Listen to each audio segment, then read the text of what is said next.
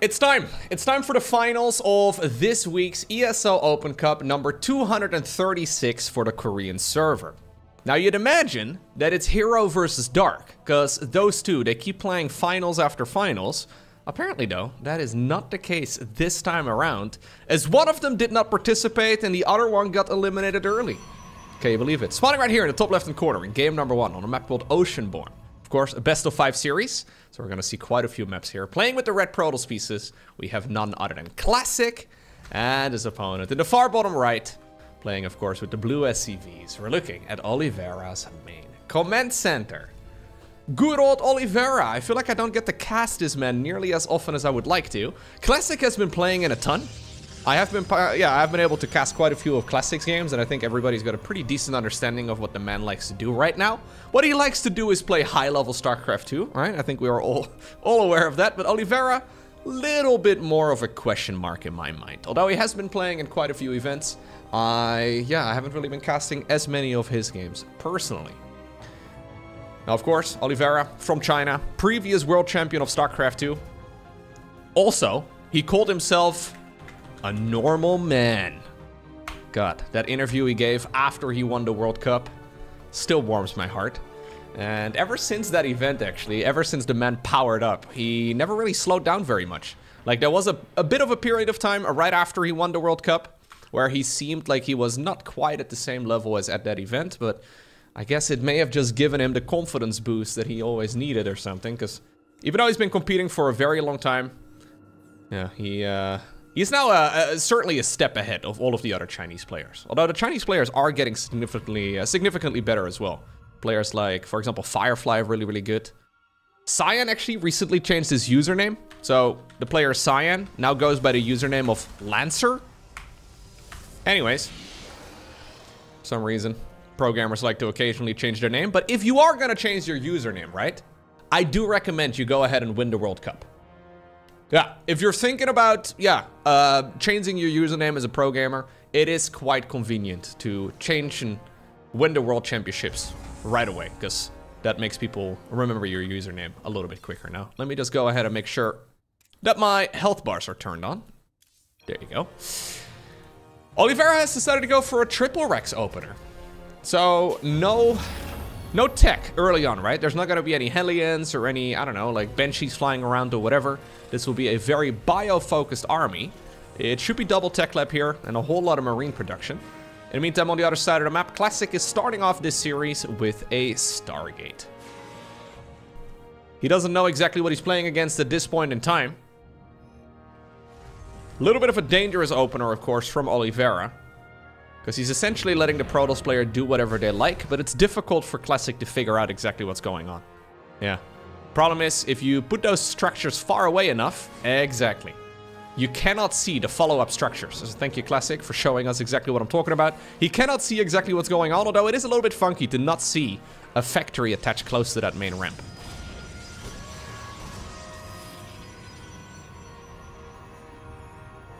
Oracle will give him all the information here eventually. Stimpack will be nice and quick, of course. So it is information that Classic will need as well. Relatively uncommon build from, from Terran, but nothing something that we can call, you know, completely out of the ordinary. Especially from, from Oliveira. Oliveira seems to be a big fan of these two-base-based attacks. Just a lot of bio-aggression, I guess, in general. The series that Serral uh, and Oliveira played at the ESL Masters tournament just about a month, maybe two months or so ago at this point. Quite memorable. Oliveira, the only player who managed to actually push Serral to the limit. Serral seemed to be cruising through the entire tournament overall. But then, well, he almost lost that best of five series in, I think it was the semifinals against Oliveira.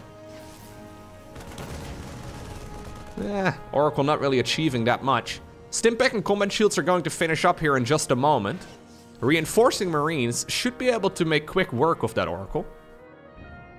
Question is though, is Oliveira even really looking to go across the map? Yeah. Kind of crazy actually, right? So Oliveira managed to go 3 to 2 against Serral. Serral wins. And then Serral proceeds to take down Maru in the finals 4 to 0. Kind of an insane stat in general. I mean, 4-0ing Maru in the first place is ridiculous, but yeah. It shows that Oliveira was not just, you know, like one weekend where he was looking really, really strong. But uh, a year and a couple of months ago, maybe, I don't know, it's been a little while at this point. But anyways, it, yeah, he's got some staying power here for certain. He's been doing uh, very well over the last couple of months. Like, for the World Cup that's coming up right now, in the middle of August, I'm actually secretly cheering for Oliveira. Like, I always find myself secretly cheering for Oliveira. He just seems like such a nice guy to be winning these events. My mind says that Serral was the favorite, but my heart says Oliveira. Robe is coming up eventually here for Classic, who now has the third base secured. He's been sprinkling in a bunch of shield batteries. He's got a decent army, but this is a lot of Marines. I mean, I think Classic should have enough, but there are obviously these tricky engagements.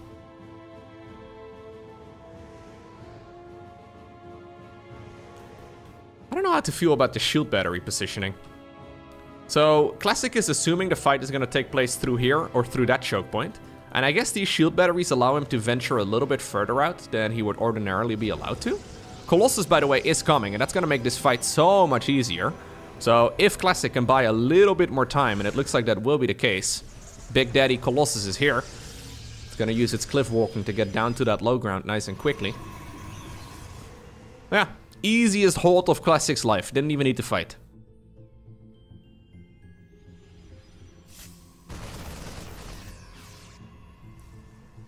Alright. So, in the meantime, on the other side of the map, we have the additional barracks coming up. Third command center building on the low ground. Ultimately, this push from Oliveira has sort of fizzled out and achieved very little. Some mind games are being played, and Oliveira is trying to outsmart Classic, but it seems to me like Classic has got the perfect response so far. He's going to double, yeah, double make sure here as well that no medevac drop is going to be able to sneak through the cracks. I guess maybe a pylon over on the left side of the map would be nice as well. But overall, this has been smooth sailing here for Classic.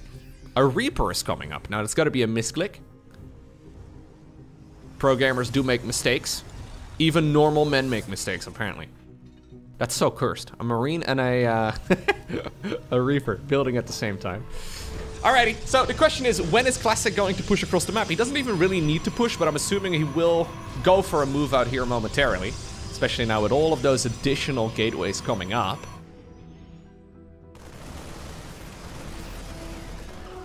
Charge is going to finish momentarily. I mean, he can just expand. Yeah, he doesn't really need to be too aggressive. We're going nine gateways in total.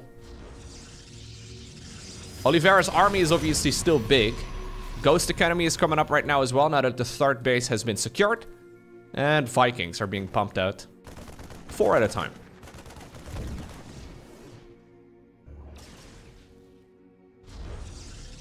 Very tame game, actually. Considering the aggressive opener, barely anything has died so far. This might be one of those games, though, where it will just be one big clash and then the game is just sort of over. Both players here are tiptoeing around each other the entire time. Don't want to poke the bear. But... What if the bear wants to be poked here in a moment? I, I think that's what we're going to see. Storm is coming. Yeah, so we're not really going for any sort of timings here anymore. Timings have been thrown way out of the window. A little bit of a zealot drop, but I mean, that's mostly just a skill check. If you can get the council on the fourth, that would be nice, but easy hold right there for Classic once again. Alrighty, storm about halfway done. We already have three ghosts out on the battlefield. Ghosts, of course, with their EMP ability, they can shut down a lot of energy. Stasis ward here up on the high ground. Shouldn't grab too much, but you never know. Alrighty. I don't think without Storm, Classic is going to try and hold that. Misrally to Immortal. That is uncharacteristic. Let's see. So Nexus is gone. No council on that one either. Oliveira just... Alright. Actually, no. I thought the Nexus was going down. It was a pylon. Nexus might not be too far behind, though, at this rate. Thankfully, right there for Classic, it was just a, uh, a pylon, but no, the Nexus is going to be hit as well. Really? What? Uh -huh! Cle Go back and kill that! How did we... Uh, anyways, all the Colossi at this point are gone. The distraction here is, is great, right? So there's been Zealots going to town over at the third. And killing 18 SCVs is actually a little much. Command Center Council over there too. Mules are good, but not that good. Oh my god. Okay, so those Zealots actually... Look at these guys. One of the least microable units in the entire game. All you do is just attack move with them, right? That's about 95% of their uh, their usability. But they just... I think they may have just won Classic the match, to be honest. They allowed him to keep that base alive, even though it wasn't really meant to be. And they allowed him, well, to kill about 20 or so workers. And that certainly wasn't supposed to happen either.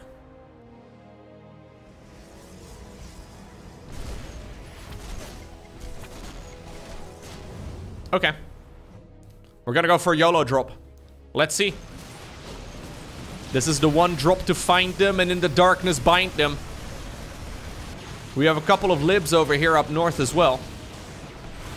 But the libs are getting pwned. Let's see. Nexus is already gone. EMP in that choke point hits like a truck. Luckily for uh, for Classic, he still has the energy right there on the Templar. Zealots are looking to see if they can get another 20 kills. Not gonna happen this time around. Dude, imagine if Oliveira actually would have killed that Nexus. This game would have been, uh...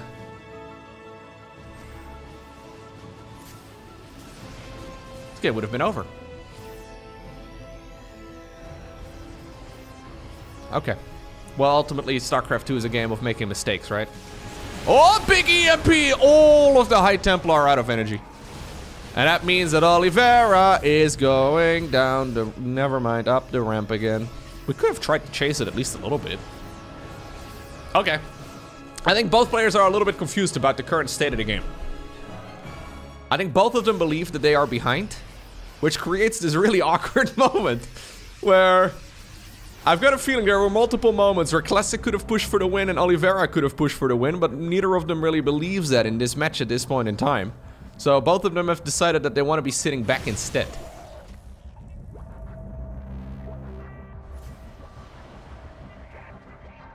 This is one of the stranger games of TVP I've casted lately, actually. Especially after all the Clem versus MaxPax games.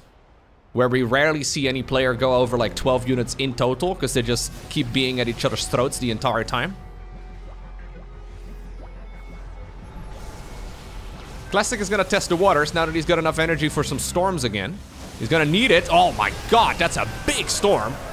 A lot of damage being done over here. A lot of the units will also get blown up, but at the same time, the planetary fortress is being targeted.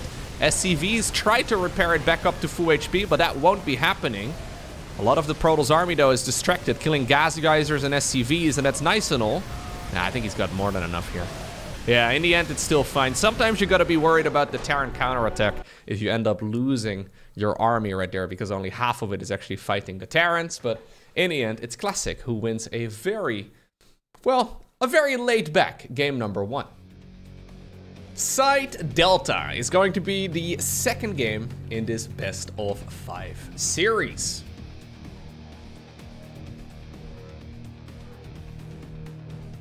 Hmm. What's the plan, Ollie? We're gonna go and send an SCV across the map here pretty early on. Supply depot up on the high ground. Ah, cheeky little proxy barracks.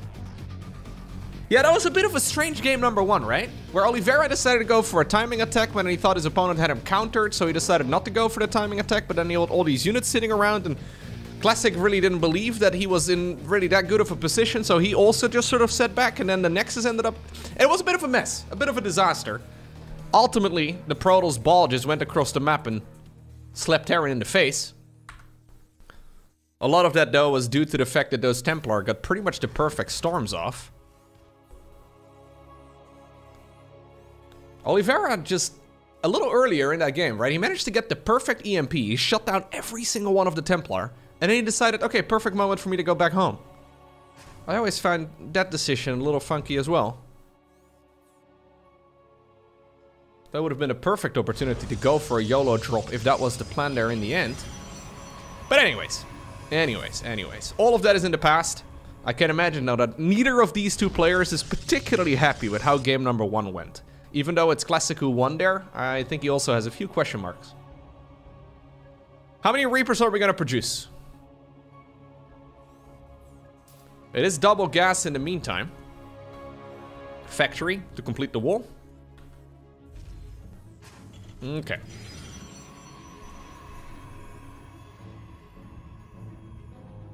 Classic, not really somebody who goes for a lot of cheese in general. He does likes to mix it in. It's not really... He's not really up to like Stats' level as far as playing defensively goes, but...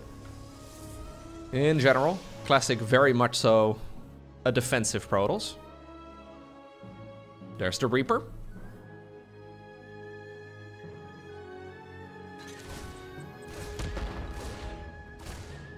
Yeah, yeah. Now we gotta go for a uh, proxy command center, engineering bay at home, fly the command center into the main base, and make a planetary fortress. That's not to win games, but that's to win fans. That's the only reason. I think Oliveira has enough fans out there actually as it is.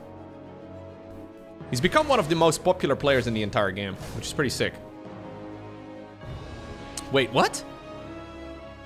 Ooh, after the Reaper... Oh, really? So after the Reaper opener, we're going for a Proxy Marauder follow-up.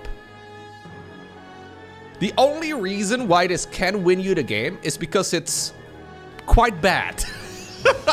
and because of the fact that now, there's about 0% chance Classic expects this follow-up.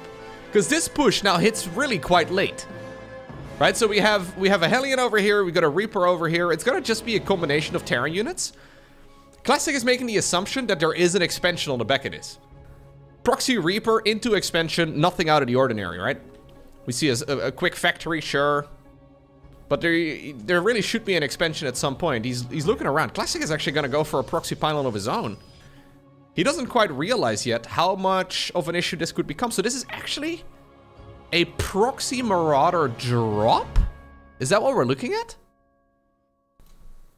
Yeah. Fourth one is gonna spawn. There we go. So obviously concussive shells, right? Very powerful. Probe, probe, probe. Oh, probe just barely see. Okay, probe just barely see it here in the end. He wants to catch those stalkers. That's the plan. And those stalkers are dead. Yeah. Full wall in over here. We do have a recall of the Stalkers, whatever else was out on the map.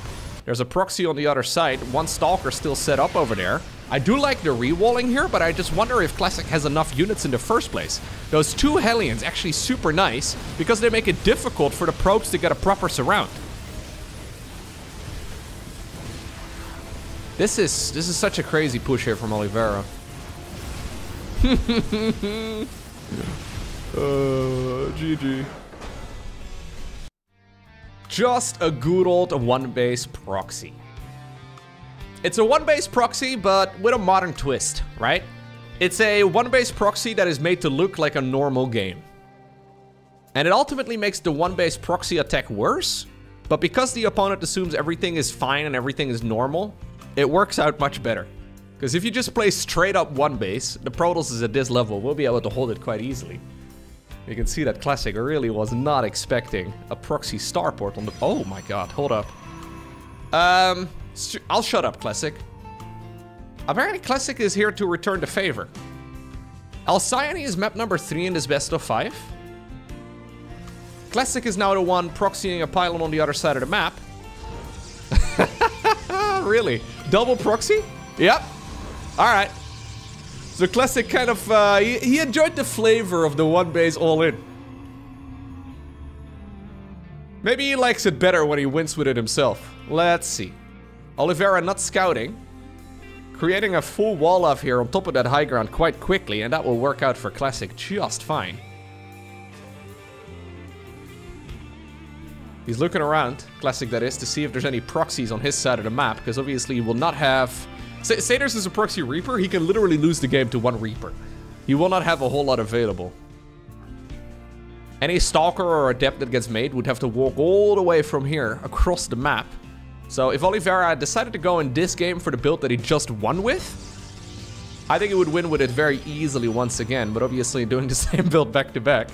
It's a Zealot Rush. Hmm. How do we feel about a Zealot Rush in 2024? I mean, it's Zealots for now. It will be followed up with what I would imagine is going to be Stalkers, but still. Command Center on the low ground. Oliveira is still feeling quite smug after that previous game. Decides to decides to play completely scoutless. So he has not sent an SCV across. He has not gone for a Reaper. He's gone one Marine straight into a Reactor.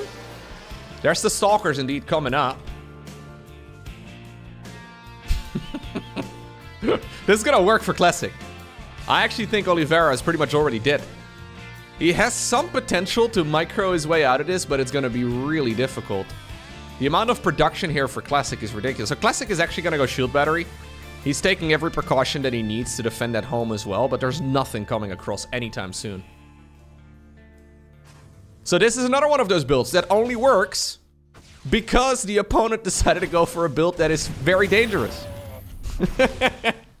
this is not a game that would really be played on the ladder, because everybody on the ladder does some form of scouting, right? But the reason Oliveira isn't scouting is because he just won the game, well, the game that we just saw, in the way that he did. Oh, this is why looking at a series of StarCraft is usually a lot more fun than looking at an individual game, because the series have a story to tell. And the story of this one is I cheese you, you cheese me, it looks to me like we are gonna go to the next game here. I mean, there's a Cyclone coming. There is, there is potential, technically speaking, but there's just way too much Protoss in the end. Post-Youth. Bit of a strange map, of course. This map was very popular when the map pool was first introduced, and we still see it quite a bit, but not as frequently over the last couple of weeks, it seems, or last couple months. Or maybe just not in the series that I have picked to cast. Used to be a very popular map 1, map 2 type of map, but...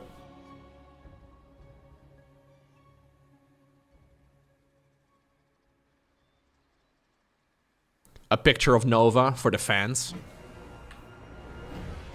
Aw. Those fans didn't really like it. These guys, though, look at these two dudes. Yeah. That's every single one of my viewers when there's a Nova picture on the screen. It's okay. It's okay. I get it.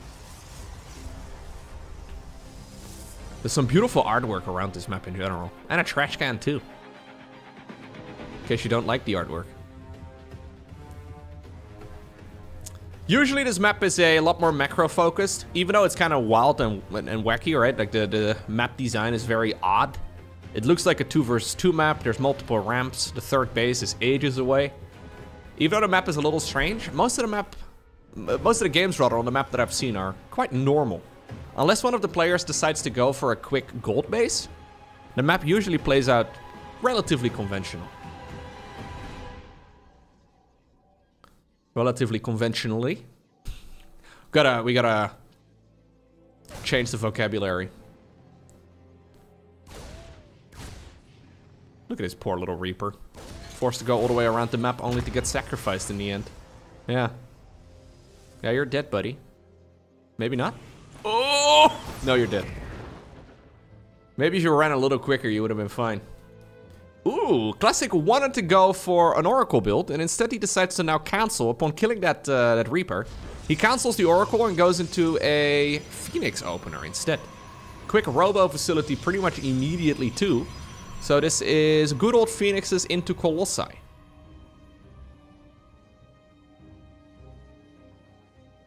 Always a nice combination. Always a bit of a dangerous combination as well, though, because things can go horribly wrong. It's going to be a Widowmine drop right here from Oliveira, who will be sending some of those units across the map here in just a moment. Or at least, he could be sending them across the map. He might bring the Marines. He doesn't necessarily have to, but... Let's do a little bit of uh, first-person view right here. So this is Classics, Classics perspective.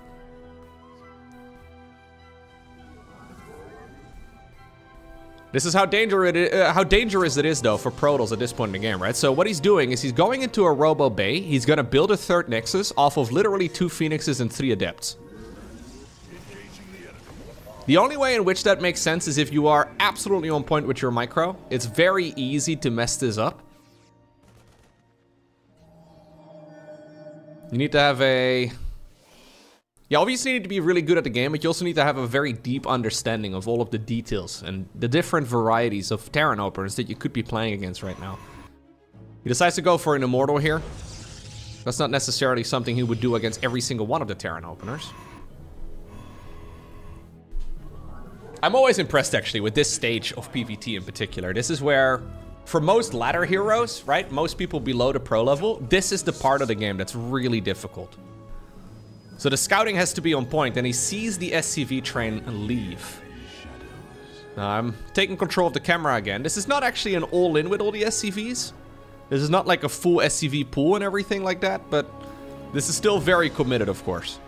The siege tank drop. It's coming up. We will probably see a slow push with some Terran structures as well. Immortal here, incredibly handy, and the first siege tank is so exposed. Easy snipe right there for Classic, and that's big. Getting that, that first snipe right there on that first unit is absolutely massive. He can obviously lift up the siege tank too. One of the Vikings is running dangerously low. Adept gets sacrificed, but that's fine. Battery overcharge has already been triggered. I mean, this is beautifully defended right here by Classic. It's not over yet. He can still mess this up, but this is about as good as it's gonna be. Getting one of those one of those siege tanks like that is massive. Obviously, a bit of a distraction here from Oliveira. Decides to go into the main base. In the meantime, a few of the reinforcing units have been picked up, and looks like the main push here is actually ooh, forced to retreat. Same can be said for those medevacs, uh, or the, that Marine group right now inside of that medevac. There's no charge or anything like that, so it is a little difficult, I guess. Oh, wow, misreadied uh, siege tank? Why are you here, buddy? Oof. Okay. Oliveira manages to keep most of these units alive. But he is going to be forced to retreat now. And this makes for an awkward game. Because there's no third command center anywhere. He's got about another three minutes of mining in him before the main base will start running low. And now, oh, Classic sees the additional barracks that have just finished up. He sees that this is now turning into effectively a two base all in. So, Classic, yep, decides to fire up upgrades. This is not one of those things, right? You kind of just have to figure out, is it possible to get away with these upgrades right now? Do I need to spend chrono boosts on it? Will I be able to finish these upgrades in time, or am I wasting my resources? He decides to go for a fourth Nexus. Now this, this goes a little far for me. I would have been frantically chrono boosting out both of these upgrades and just making a stupid amount of units right now. The fourth Nexus is maybe just bait. Maybe just to seal the deal. But yeah, here's the rest of the SCVs going across the map. Move out is spotted. Classic knows what's up. Yeah, Classic is actually super good. When Classic is playing well, he's one of the very best Protosses in the world. And he's been making steady improvements as well over the last, yeah, maybe half year or so. That Nexus should not be living, but I mean, to be fair, he doesn't need this Nexus at all. Even if he cancels it, it's still three base versus two. Oh my god. Really? We're doing a missile turret slow push? So missile turrets can be used to shoot at Colossi, because Colossi are, well, very large ground units. But that's obviously an ambitious play. He wants to go for a slow push with the Liberators, the Siege Tanks, and then also these missile turrets. So if these first groups of missile turrets finish up, he'll probably try and do another wave of them. Move and scoot those Siege Tanks further and further forward.